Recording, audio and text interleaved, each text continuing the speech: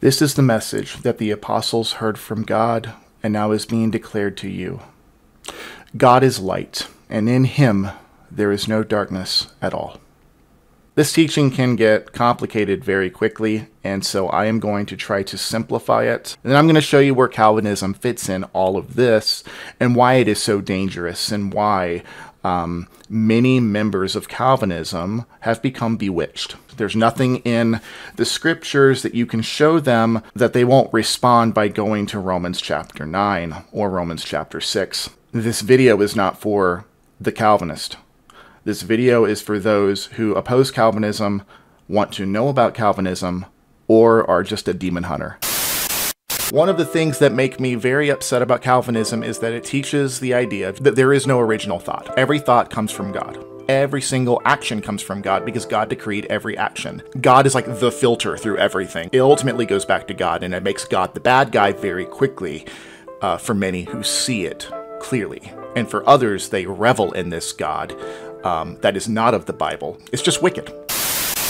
If you like this video, don't forget to hit like. Uh, don't forget to subscribe to my channel where I go live every Saturday from 8 to 10 p.m. or so. Uh, sometimes past 10, but, um, you know, uh, we talk about all sorts of things, usually like poltergeist activity and stuff like that. I think one thing that irks me is the fact that if God is the one that is decreeing all things, then he is decreeing for these demons to do exactly what they are doing. He is decreeing for all evil to come to pass. It's through the two lens system. I have a bone to pick with that. If God is really the one that is performing behind the scenes, then there's really nothing the devil is doing that God didn't decree for him to do.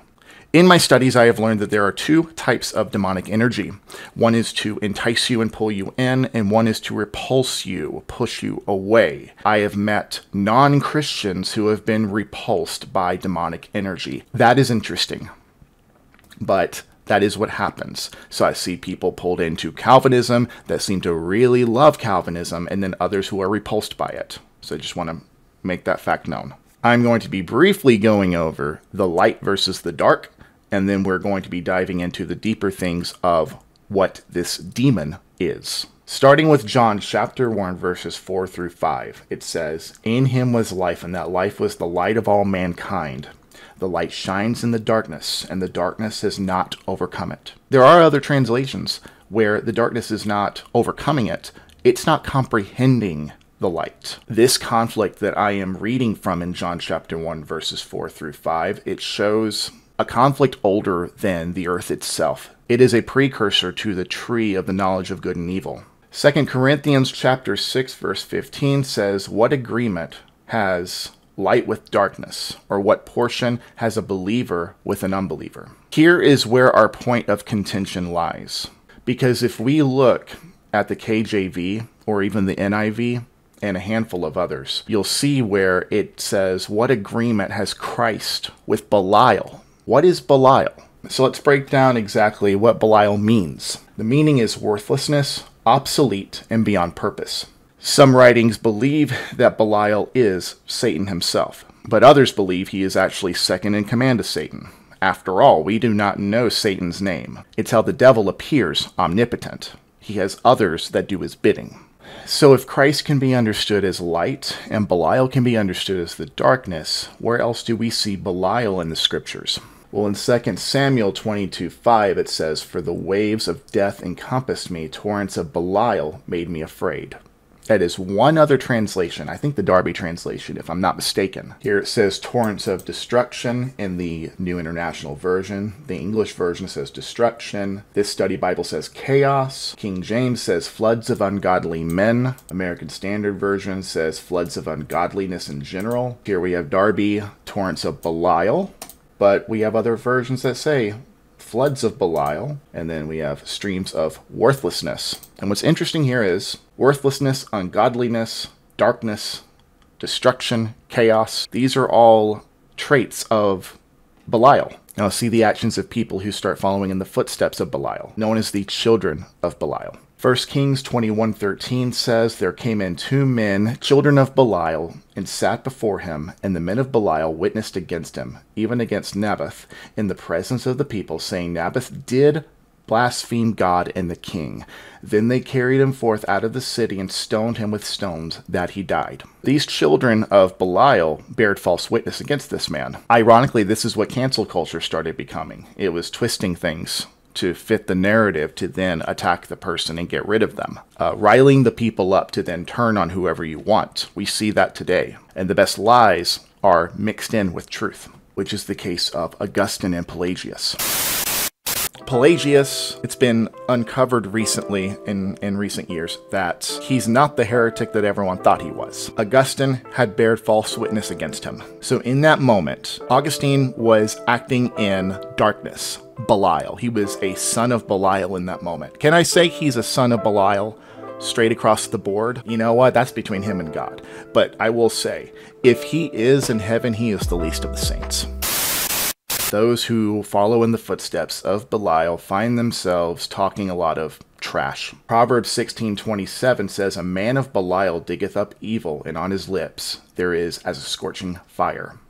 This includes speaking blasphemies, bearing false witness, gossip, um, any of these things. So let's look at some extra biblical sources here. Jubilee 1533 says, And now I announce unto thee that the children of Israel will not keep true to his ordinance, and they will not circumcise their sons according to all his law. For in the flesh of their circumcision they will omit the circumcision of their sons. And all of them, sons of Beliar, also Belial, will leave their sons uncircumcised as they were born. When they rebel against establishments, they rebel hard, really hard. They don't just rebel a little bit. They don't just simply like fight back and then get away. No, they fight back and they get in their face. They do the things that get their attention. Reformers came from the Protestant Reformation. Am I saying that all Protestants are bewitched? No, it's not what I'm saying. What I am saying is that in the Protestant Reformation, things got really nasty very quickly for a lot of different reformers. They were doing things they should not have been doing, like burning people at the stake. Yes, John Calvin, I'm looking at you. Or breaking vows left and right. That would be Martin Luther. This here is the Damascus document, column 4, says Belial is unrestrained in Israel, just as God said by Isaiah the prophet, the son of Amoz, saying, Fear and pit and snare are upon thee, dweller in the land. This is Isaiah 24:17. The three types of traps that Belial sets forth is fornication, wealth, and defiling the sanctuary. And this is something that the Catholic Church is guilty of as well. This is not just something that reformers do. I'm saying reformer here, I'm not trying to imply something here. I'm just saying that either you're basically a Catholic, Orthodox, or reformer, or outside of that, I guess you could be anti denominational because that's kind of me. Belial can be found with those who are incredibly self righteous, those who hold positions of power, who know how to swindle people. There are probably many in the Eastern. I'm sticking to what I know here. Um, and Calvinism being in the West, we're going to continue sticking to the West. Cessationism is very common among um, the Calvinist groups who believe that the gifts of the Holy Spirit have ceased um, 2,000 years ago. These particular people also believe that there was no power back then. They have a form of godliness but deny its power, have nothing to do with this, such people. They are the kind who worm their way into homes and gain control over gullible women, who are loaded down with sins and are swayed by all kinds of evil desires, always learning but never able to come to a knowledge of the truth. This one is incredibly important. I'm going to tell you why. What are the most prominent Reformed teachers known for?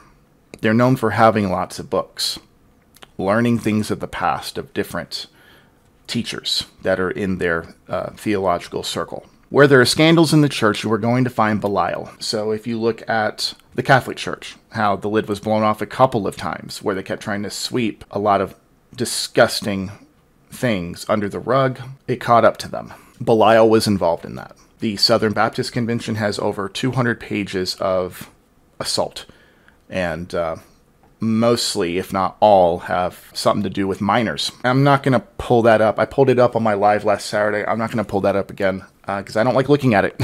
but it is a real list. It's going to come from the SBC website. I'll be putting that in the description below for you guys to read. But These people uh, should obviously be handed over to Satan if they haven't been already. It starts with mixing Bible in with other belief systems. Light and dark should be just as separated as Christ and Belial. Just as separated as in Genesis chapter 1. God separated the light from the darkness. The darkness could not comprehend the light. Belial cannot comprehend Jesus Christ. So now that we understand how Belial can infect the church, by welcoming in outside belief systems, mixing in the light and dark in one way or another. If God decreed all evil, then God is ultimately holding darkness in his hand. There you're mixing Hindu beliefs into Christianity. You are imposing Belial onto Jesus Christ by going into the five point Calvinist system. That is my conclusion. I believe that is what is evident. God is responsible in the system for all the damage that Belial has done, what the darkness itself has done. If anything, it's a perversion of the light. It's absence of the light. It's a negative, just like you can't add death. You can only take away life. Death is a negative. Negatives aren't creations. Perversions aren't creations. It's taking something that already exists and trying to twist it around to make it your own. This is something that the devil does very well and imposing that on God is not okay. So, who is the God of Calvinism? If he's not the God of the Bible, can we find this God out there somewhere? I don't think so. When studying closely on the God of Calvinism, I discovered that he seems to have all of the traits of someone who suffers from narcissistic personality disorder. He's a God made in man's image. It's why there are many Calvinists that can't help but be arrogant. It's why there's many Calvinists that may feel like they need to control certain aspects of their lives. Bad theology can be a slippery slip for people. It can stop them from preaching the gospel the way that they could have. It can stop people from laying hands on the sick, attempting to perform miracles, praying about performing miracles. Anyway, that is all for this video. I hope and pray that this helps somebody. If you like this video, hit like, subscribe to my channel where I can go over uh, other things that are outside of Calvinism because I don't want to be an anti-Calvinist channel. I want to move on to other demons that are influencing other people. And there's other systems out there that are messing with people. Witchcraft is getting in the church too. So there's that. Anyway, I will see you in the next video. Take care. God bless.